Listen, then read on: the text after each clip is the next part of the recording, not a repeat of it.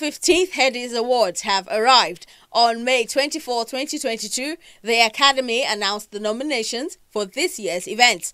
Grammy Award winning Beninese singer Angelique Kidjo is the recipient of the Headies Hall of Fame in its 2022 edition. According to the organizers, the Hall of Fame special recognition is given to an individual of African descent who has made excellent and outstanding impact to the African entertainment industry home and abroad. New categories which have been introduced include Music Executive of the Year, Best Afrobeat Pop Single Nigeria, Best Afrobeat Pop Album Nigeria, Best African Collaboration, Best International Collaboration, African Artist of the Year, and International Artist of the Year.